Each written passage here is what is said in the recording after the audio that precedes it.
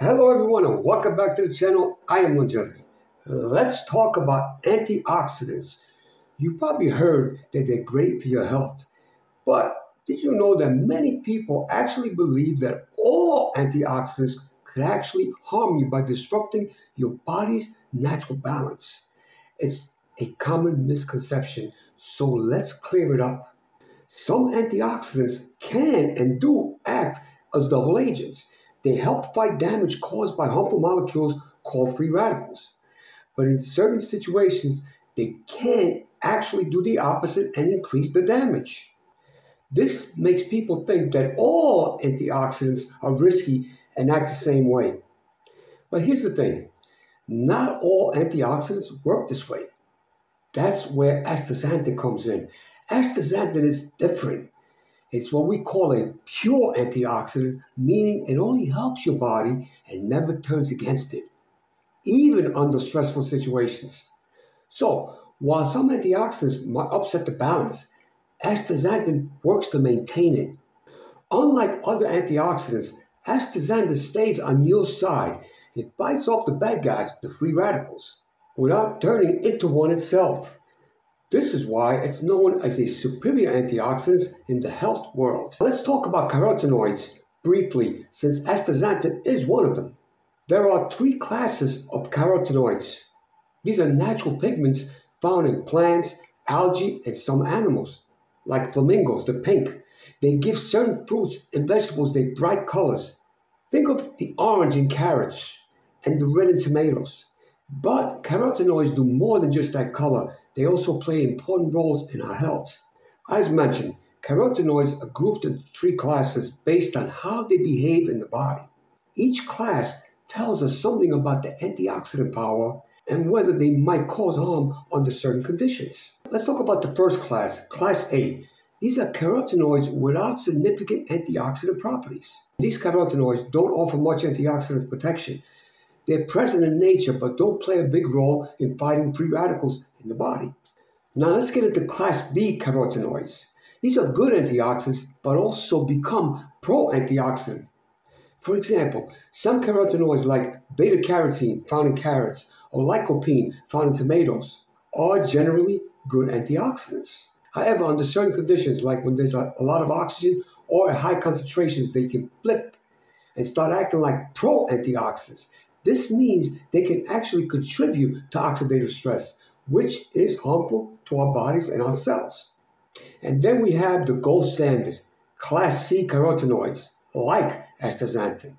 These carotenoids are powerful antioxidants that never turn into pro antioxidants, no matter the condition. This makes astaxanthin a pure antioxidant and always protects your cell without causing harm. So, in a nutshell, not all carotenoids are the same. While some can be both helpful and harmful, like those in Class B, astaxanthin is in a class of its own, Class C, providing strong and reliable protection at all times. So, why is astaxanthin so special? I already mentioned that it is a pure antioxidant and never turns against your body. But another special thing about it, it protects your cells on the inside and the outside. And this is where astaxanthin really stands out from other antioxidants. Most antioxidants only work in one area, either the outside or the inside of the cell. But astaxanthin can cross the cell membranes and protect every single part of the cell. Think of it like an all-in-one bodyguard that keeps every angle covered. The next thing astaxanthin is proven for is it is a powerful anti-inflammatory. Studies have shown that astaxanthin helps reduce inflammation by blocking a key pathway, NF-kappa B, that normally triggers the body's inflammatory response when under stress. This unique action prevents the activation of certain genes that would otherwise produce inflammatory signals like IL 1B, IL 6, IL 8, and TNFA, which are often involved in conditions that cause chronic inflammation. This makes astaxanthin a versatile anti-inflammatory compound. So what exactly are the proven benefits of astaxanthin in human studies? Number one, it is excellent for athletic performance. That's one of the reasons why I take it. This new systematic review on the screen and meta-analysis found that astaxanthin supplementation in humans particularly athletes, offers numerous benefits. Studies demonstrated improved physical performance. Additionally, astaxanthin was shown to significantly increase total antioxidant capacity, helping combat oxidative stress induced by high intensity exercise. This is why I love this supplement.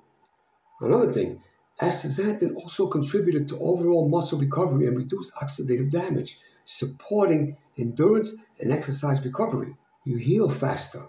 But I'm not done. Astaxanthin's potential mitochondrial support mechanisms suggest a role in energy metabolism regulation, potentially aiding muscle function and reduced exercise induced inflammation. The next proven benefit in humans is that it helps use fat as fuel when exercising. Check out this new systematic review and meta analysis, which evaluated the benefits of astaxanthin supplementation on fatigue, cognition, and exercise efficiency. The systematic review analyzed data from 11 randomized control trials with 346 healthy participants. The results revealed that astaxanthin supplementation showed a positive trend in relieving subjective fatigue. In other words, when you feel tired, it relieved it. It also showed significant improvements in physical performance and fat oxidation when astaxanthin was combined with training. This is what I do. In other words, it helps your body use fat as fuel when training. It burns the fat off your body. It helps with this. In yet another new systematic review and meta-analysis, it examined the impact of antioxidant lipid supplements like astaxanthin on cardiovascular health indicators. The results indicated that astaxanthin in particular lowered LDL cholesterol and raised HDL cholesterol. Additionally, it significantly reduced triglycerides and fasting insulin levels, highlighting its potential for supporting lipid management and glycemic control. The next benefit is even incredible. Astaxanthin can reduce visceral fat and increase adiponectin. A randomized placebo-controlled trial conducted on patients with type 2 diabetes demonstrated that 8 weeks of astaxanthin 8 milligrams a day significantly increased adiponectin levels. This increase in adiponectin was associated with reduced visceral body fat mass, improved lipid profile, and better glycemic control. For those who do not know what adiponectin is, it's an important protein that plays crucial roles in several metabolic processes, such as insulin sensitivity, glucose regulation, lipid metabolism, anti-inflammatory effects, neuroprotection, and much more. Now let's talk about astaxanthin and longevity. Current research suggests that astaxanthin may help slow aging and support a longer life by reducing inflammation and balancing oxidative stress. Although most studies focus on diseases associated with aging rather than directly on lifespan, astaxanthin shows promise as a geroprotector, which is a substance that may delay aging effects. Over the past decade or so, scientists have identified chronic low level inflammation and oxidative stress as key factors in age related diseases. Astaxanthin may help by interacting with these processes at the cellular level. Its benefits include improving brain health, reducing stress on cells, supporting healthy gene expression, and even promoting the growth of new brain cells. The following are the longevity genes astaxanthin has been shown to stimulate AMPK, SIRT1, PGC1A, Klotho, FOXO3, and NRF2. While more research is needed to confirm these effects, astaxanthin looks like a promising natural option for supporting healthy aging.